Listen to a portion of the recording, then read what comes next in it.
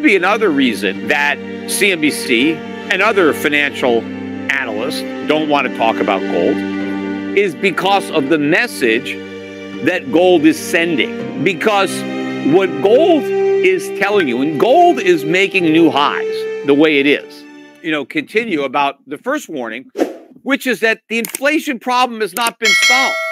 And the Fed is about to make it worse. You've got Powell out there saying we're going to cut rates, and gold is giving him a big raspberry, right? The big thumbs down because gold prices are rising uh, as a result. Now, some people think, well, it's okay, right? If, if because gold gold's going to go up when when rates go down. But if inflation was really coming down, then it wouldn't matter if the Fed cuts rates because gold is sensitive to real interest rates, not nominal interest rates. So if inflation was going down with interest rates, that wouldn't necessarily benefit gold.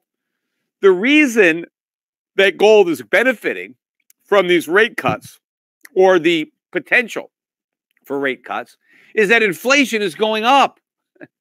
And so that guarantees that real rates are coming down, or in fact, real rates will be negative, which I think they will be. And that is one reason that the price of gold is going up. And it should cause Jerome Powell and the rest of the Fed to say, you know what? We got to call off these rate cuts because we've announced our intention to cut rates and gold just went way up. It's like you launched a trial balloon and the balloon, you know, got shot down. It crashed and burned. Look at the gold price. So, you know, that should cause the Fed to second guess and say, you know what? We're not cutting. The rate cuts are off. No cuts. Now, if they did that, maybe the price of gold would come back down. And that that that's what they should want. Right? Because if gold is the canary in the coal mine, you want to keep that canary alive, right? You don't want that canary dead. And so the minute he, he he's acted kind of sick, you got to hold up. I gotta I gotta change policy here, uh, but they can't do that because the Fed's real agenda is not inflation. If it was, if the Fed really were concerned about inflation, especially given how it talks about the economy, right? The economy is great. The labor market is strong.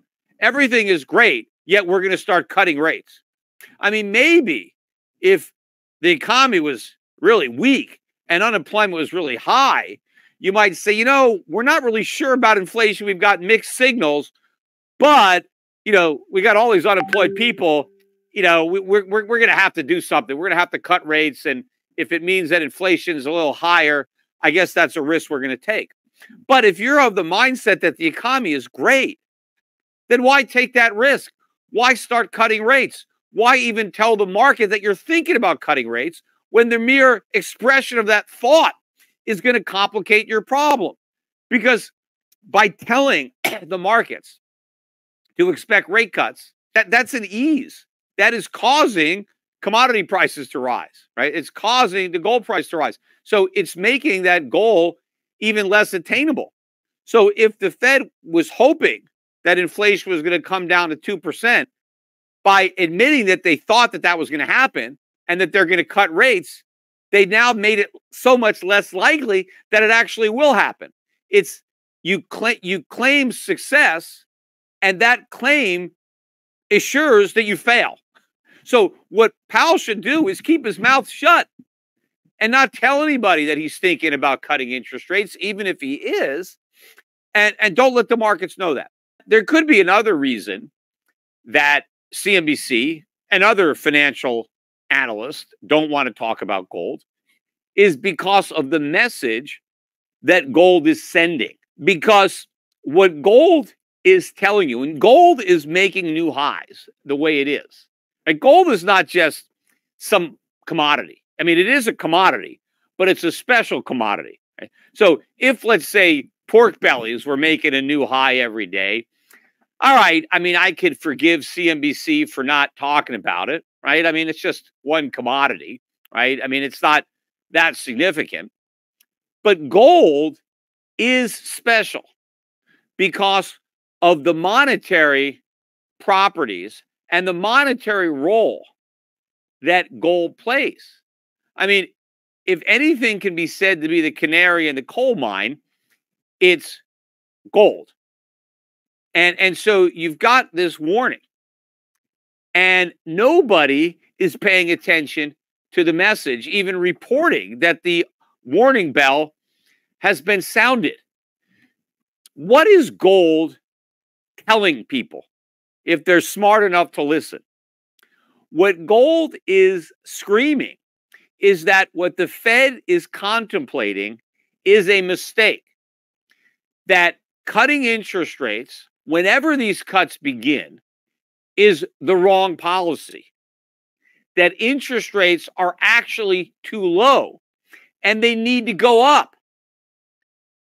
But the Federal Reserve and the financial media are ignoring this warning.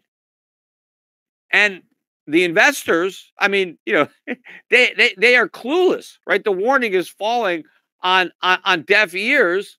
And maybe one of the reasons is they don't even know that the warning's been sounded because the financial media is got radio silence on this stealth gold rally. And imagine too, if the public knew that gold was going up and they had some inkling of why, they'd be buying too. Imagine how much higher the price of gold would be right now if the American public was actually buying it or if they weren't selling it, which is what they have been doing. They've been liquidating. I think the liquidations now maybe have you know come to a come to an end. I'm not sure, but for months and months, all year, they have been selling gold through the GLD. Meanwhile, this is one of the best years ever. I mean, maybe this is the best start to a year. I haven't researched it yet, but if it's not the best year ever, it's one of them. Right? We're up. I don't know. what We're up 14% or 15% this year in in in the price of gold. Um, but that's with the public selling gold, right? Who's buying it? I mentioned it in previous podcasts. It's foreign central banks. They're the ones that are buying, and maybe other uh, wiser individuals in, in in Asia. That's why we have these big rallies overnight, and then we have sell-offs here in the United States.